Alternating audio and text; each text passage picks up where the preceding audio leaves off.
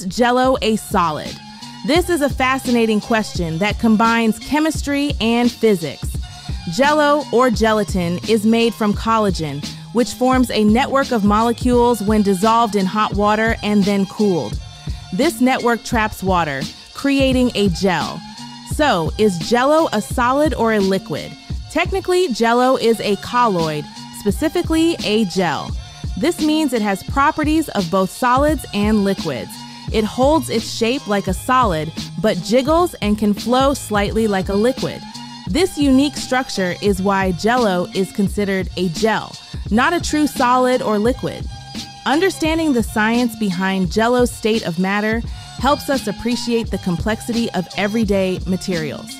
So, next time you enjoy a wobbly dessert, remember it's a fascinating gel at the molecular level. Don't forget, stay curious and keep exploring.